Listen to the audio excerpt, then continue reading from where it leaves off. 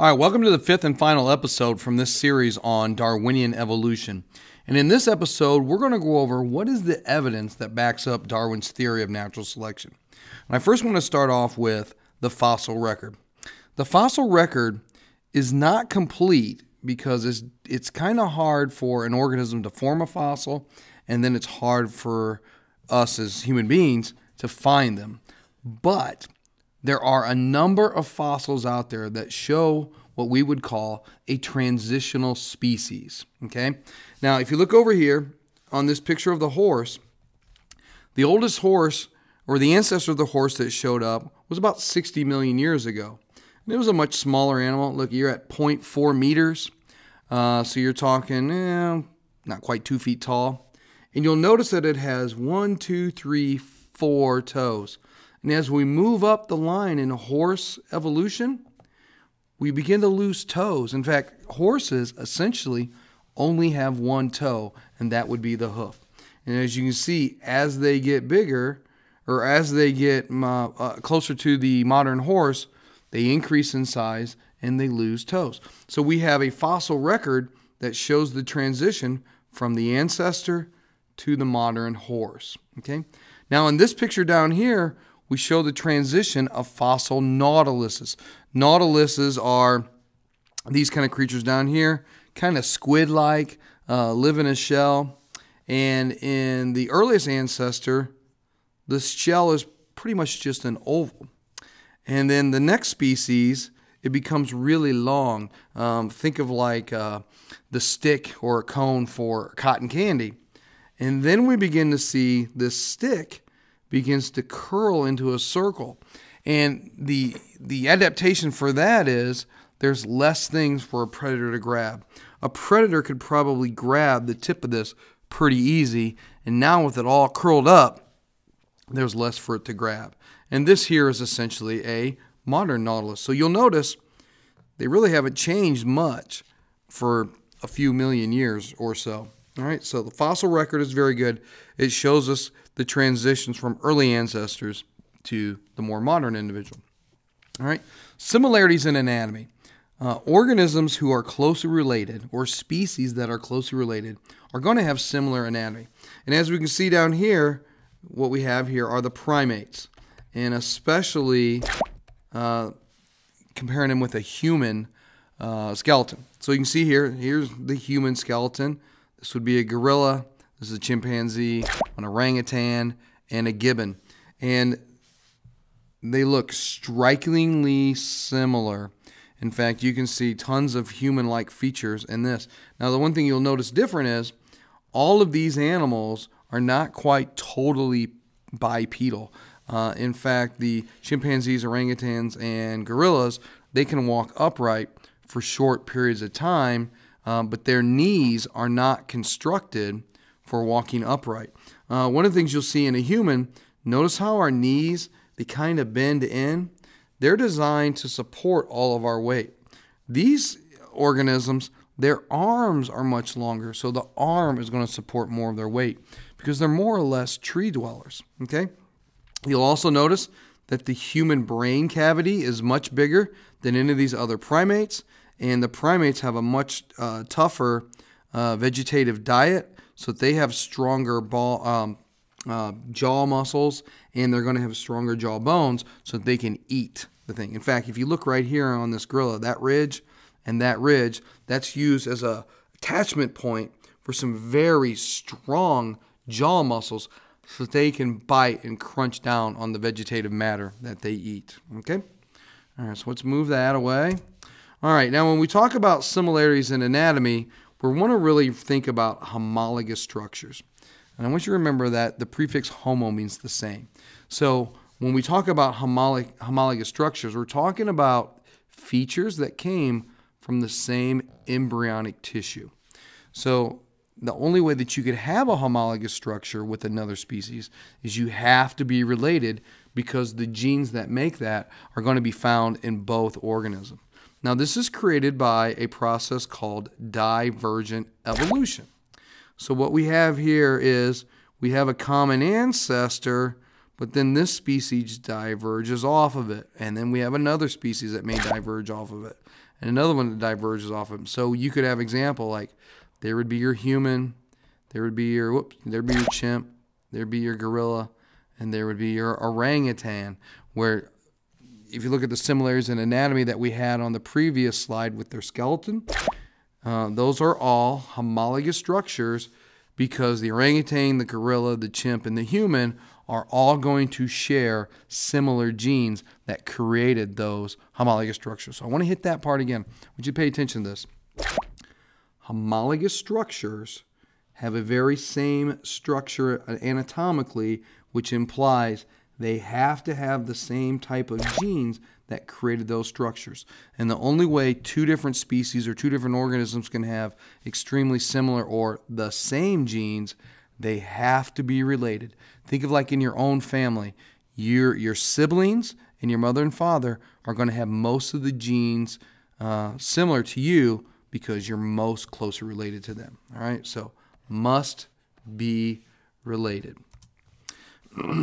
All right, so in this example of showing divergent evolution, we're looking at a monkey, a whale, a pig, and a bird. And these are all organisms that are chordates. In other words, they've got a backbone, they've got um, um, bones made out of calcium that's internal, etc. You know, the things that we would expect to see in an animal. More or, less, more or less, they're they got their vertebrates. Okay, so if we look here in a human bone, there we've got your humerus, uh, your radius, your ulna, and then your hand and wrist bones. You look over here in the whale, humerus, um, radius, ulna, wrist bones, finger bones, pig, humerus, ulna, or I'm sorry, radius, ulna, wrist bones, finger bones, and even in a bird, you know, which is kind of much more reptilian line, but they are vertebrates, so they should be some homologous structures. You're going to see the same thing in here. A humerus, a radius, and ulna, the wrist bones have fused to come out longer so that you can have a longer wingspan and you still have some remnants of some finger bones. So this is much more reptilian, so it looks a lot different than these other more modern chordate, or I'm sorry, uh, more mammalian organisms. All right, so we're seeing similarities in anatomy helping us show that we have homologous structures where we've diverged from uh, common ancestors. All right, now here we've got a lobed fin fish. Uh, they they have these kind of they call them lobes. They're, they're kind of much more fleshy and they got bones in them. And as you can see here, this lobe fin fish, this is like a uh, humerus, radius, or you could look at this maybe as a shoulder blade, humerus. These right here would be the two forearm bones, and then you got wrist and fingers uh, pelvis, femur, uh, tibia and fibia, and then your toe bones. Um, the evidence states that the first animal who walked upon land was an amphibian, and they evolved from a lobed fin fish. And as you can see here, there's your uh, shoulder blade, matches up with there. There's your humerus, matches up here. Those are your two forearm bones. And then here you've got your uh, wrist and fingers. See those down here? And the same way with down here at the back. That can evolve into a pelvis. This can eventually change into a femur. Femur. Then you got your tibia and fibia. So you got pelvis, femur, tibia and fibia, and then wrist and finger bones. Okay? So these would be homologous structures. They come from the same genetic evolutionary line. All right. Analogous structures. The ANA refers to something that means opposite or not the same. So these are similar structures, but they don't come from the same embryonic tissue. They're from convergent evolution. In other words, they've got two organisms and they've converged to look similar. So they're not related, they're just converged to look similar. What causes this? They live in a similar habitat that has the same evolutionary pressures, or what we would call selection pressures. Now, the best example of that would be sharks and dolphins. Okay, they both have a fish shape. Okay, but this fish shape is because they live in water. So, to have a fish shape, if you're a water dweller, gives you an evolutionary advantage, or let's say this, an adaptive advantage. So if you think of even like um, seals, they have kind of that torpedo, which is sort of a fish shape. So as we can see here, we've got tails, we've got fins, and we got pectoral fins, and we see the same thing on the dolphin, okay? Except this is a cartilaginous fish. You have a bunch of cartilage in here, and it doesn't quite look like humerus, radius, ulnus, and wrist bones. Where if you look at the flipper of this dolphin, you, know, you can almost see that it could be, you know, just like your arm. Now, I also want you to pay attention. Is that a shark is going to wave its fin back and forth, its tail back and forth as it swims. Whales and dolphins go up and down, up and down, because that's how your legs and your pelvis works. Okay? Our feet go like this one, two, three, four, five as we're stepping. So if I would just put you horizontal and put you in the water, your feet would go up and down. You notice like when you're in the pool and you kick, you're kicking up and down, up and down, up and down.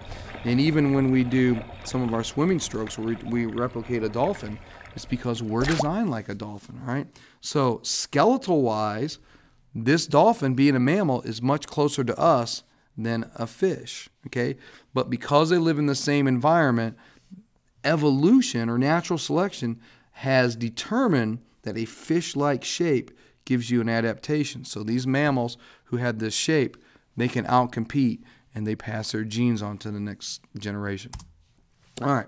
Now, vestigial organs are another structure that can give you a hint to what the uh, common ancestor was like. So, vestigial structures, there are homologous structures. In other words, they came from the same embryonic tissue. So, the genetic reasons of why they came about are the same. It's an implication that you are uh, a relative. But a vestigial structure is very small and unused. And it's a huge hint at what the common ancestor was like. All right, so let me clear that, and I'm going to show you a picture of it. okay, in this picture we have a whale.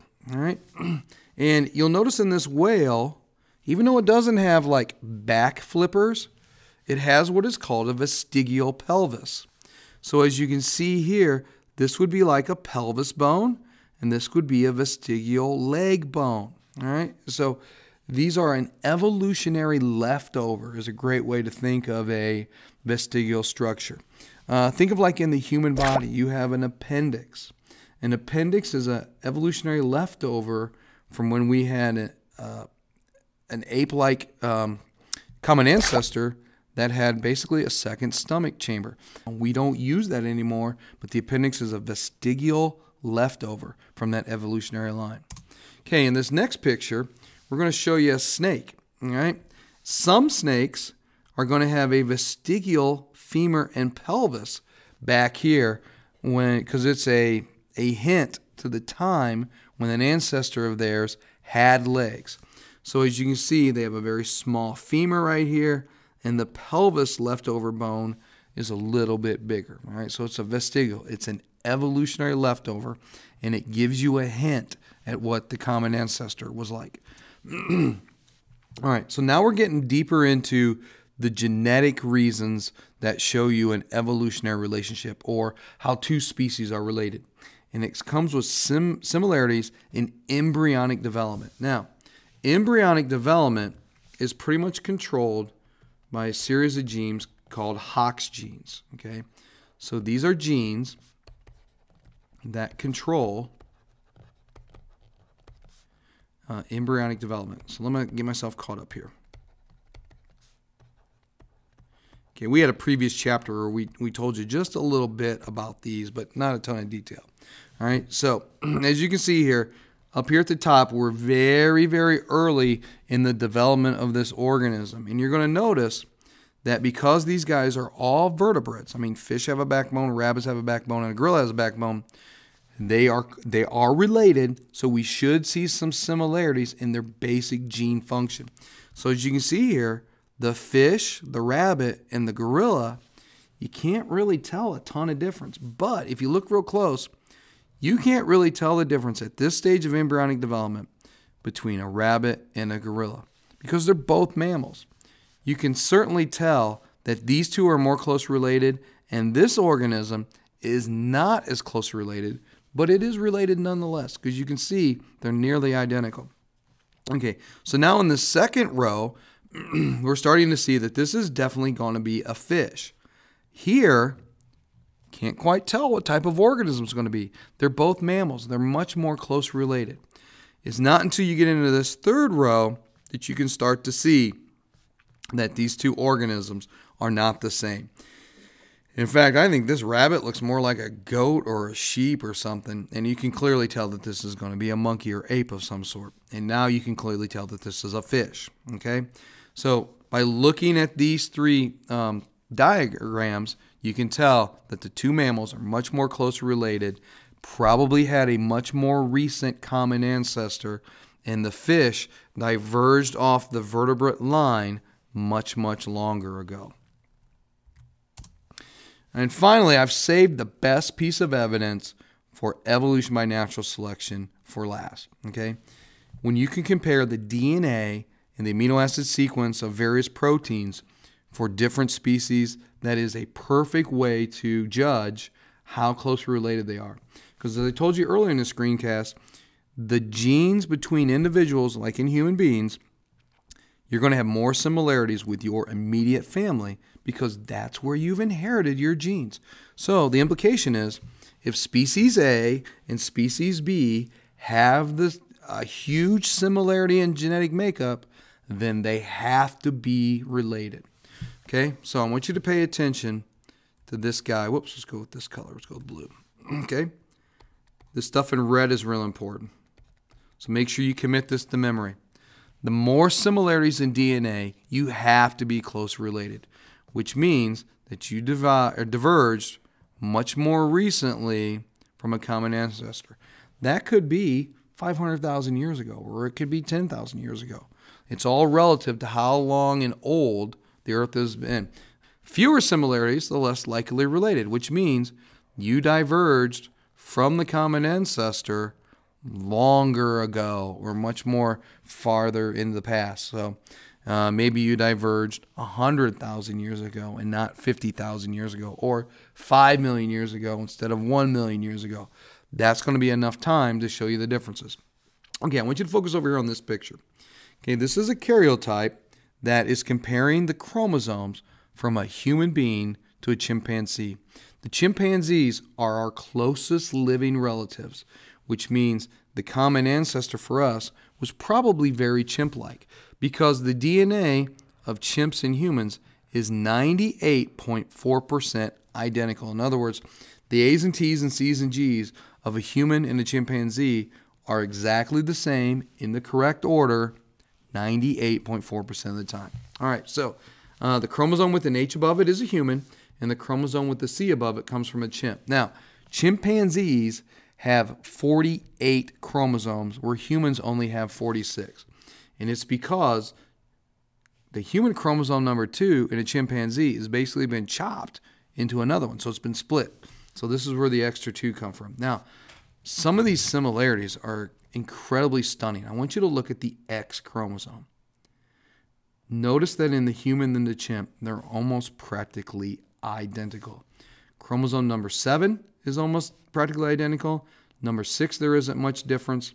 And if you come down here to 15 is almost the same. And let's see if there's any more in here that are pretty similar. 11, pretty close to the same. Okay. The Y chromosome in a human just happens to be longer, but the banding patterns are almost the same. Okay. Huge similarity between humans and chimps, which strongly implicates that we have diverged from a common ancestor recently. Okay. It also shows you the power of mutation and changes. That 1.6%, that's enough to make humans vastly more intelligent, uh, to walk upright, to have better motor skills, fine motor skills with their fingers. It's just enough to send us on a totally different evolutionary past. Okay? This is going to wrap up this series on evolution. This is one of my favorite topics. We're going to have a second series of evolution called, surprisingly, Evolution 2, where we're going to look at more of the genetics behind evolution. And it's also one of my favorite chapters. So, out of all the video series that I made, we're now in some of the some of my favorites. So, until our next series, we're going to catch you on that flip side.